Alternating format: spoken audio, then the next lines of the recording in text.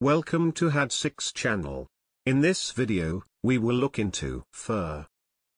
Four nouns with similar meanings will be reviewed in example sentences. Let's get started.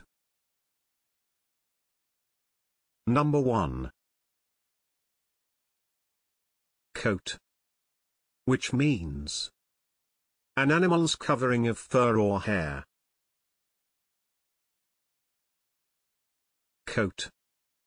For example, a dog's coat may become tangled and matted.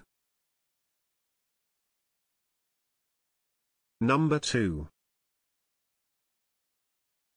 Pelt. Which means the skin of an animal with the fur, wool, or hair still on it. Pelt. For example, traders brought reindeer pelts. Number 3. Fleece. Which means the wool shorn from a sheep in a single piece at one time. Fleece.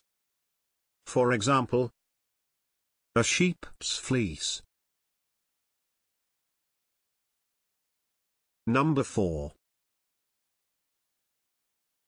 Hair.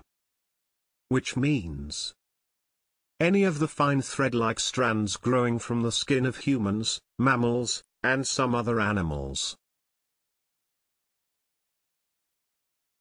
Hair. For example, muscular dogs with wide heads and short, blue-gray hair. If you liked the video, please do not forget to hit the like button and subscribe for similar videos.